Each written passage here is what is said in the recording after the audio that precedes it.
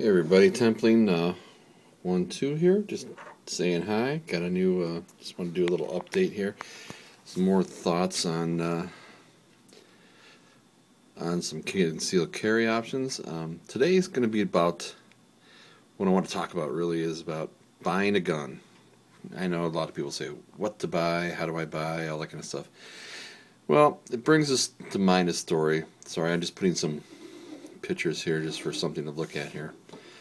Um, but the the the reason I'm sort of making this video is just because I want people to be aware of, uh, especially new gun shoppers for concealed carry, to be aware of what to buy, how to buy. I, I have a friend who's recently just starting to buy and shop for a gun, and um, he's doing typically what everybody else does: looking on the internet, looking in magazines, looking at um, the local, you know, ads in the newspaper for oh, what's the best buy because he, he, he's uh, fun limited like most of us, and does not want to spend over a certain uh, price point.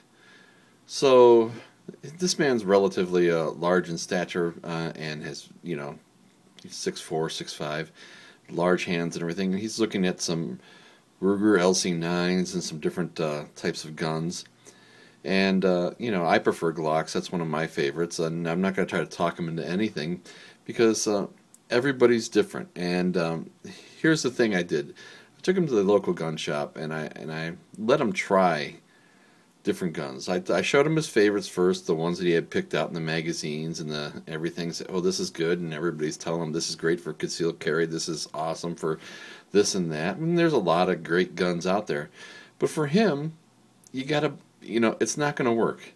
You got to buy what fits, and and that's what I re- one of the things I want to talk about is because. I, I went to the conceal and carry classes and stuff, and there's a lot of people who went to the classes didn't even own guns yet. They rented guns to take the class and didn't own a gun.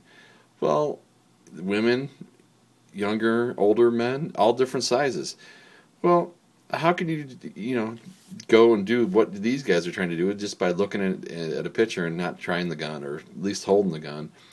And again we went there and we found out that the Ruger LC9 for a man his size is not going to fit. I mean it, it, was like a it was like a, a, a, a little toy shooting gun in his hand. It wasn't comfortable. It wasn't you know it didn't even and he wasn't comfortable holding it. So um, that's the first note I want to say is try before you buy. You got to look into the size of the gun. You got to go pick up a gun. You got to see if it's going to fit your hand and if you're going to be comfortable.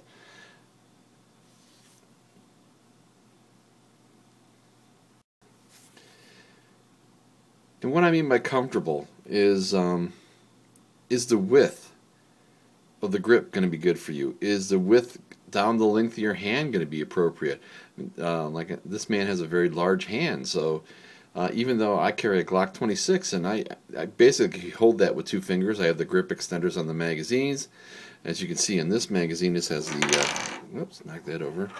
Uh, this has the one grip extender, and I have a little bit nicer one for another one. That's got the extended mag and the grip extender, it, and it gives you a little bit of, uh, you know, a little bit of pinky support there.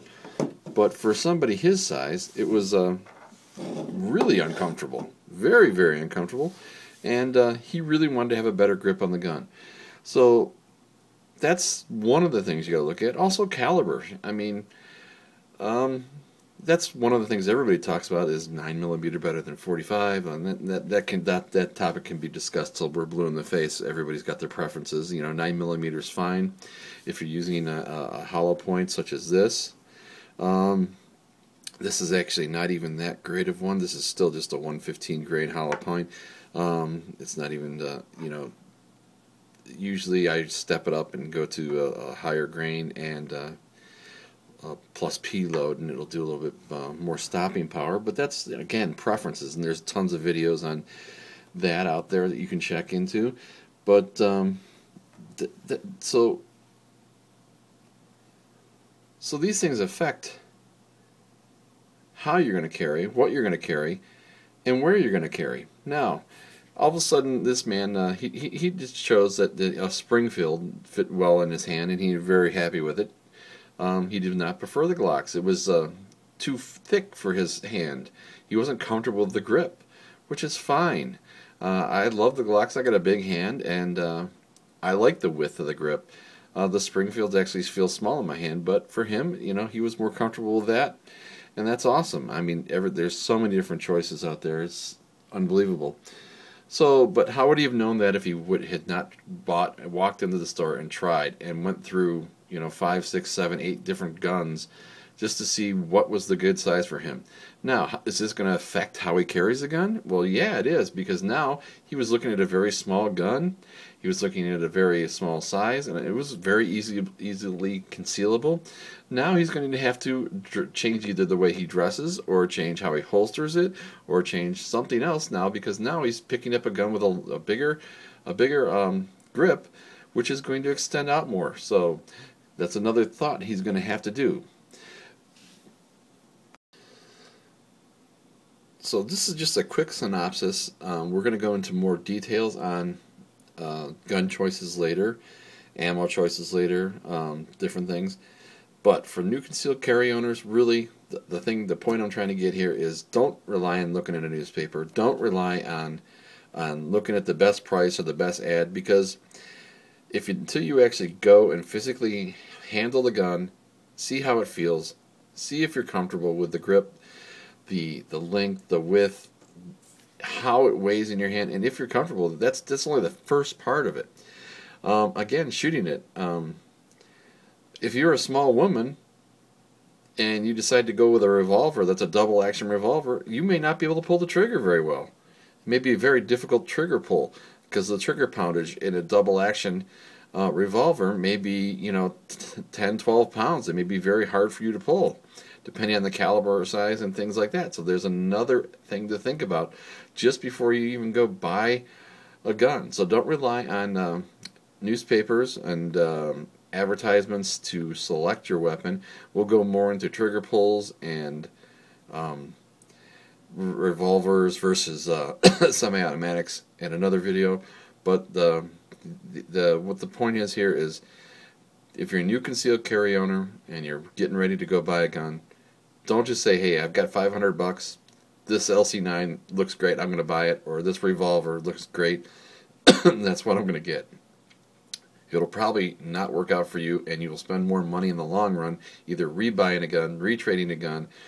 Because remember, with all these things, whatever gun you buy, odds are you're going to have to buy holsters for it. You're going to have to buy the ammo for it. You're going to have to buy many other things to help support your carry system. and that's another thing we'll talk about later. So, this is Templing. Just a few thoughts on this idea. Uh, we'll get back to you more details. We'll pick one of the topics and expand upon it uh, later this week. Thanks and have a good day.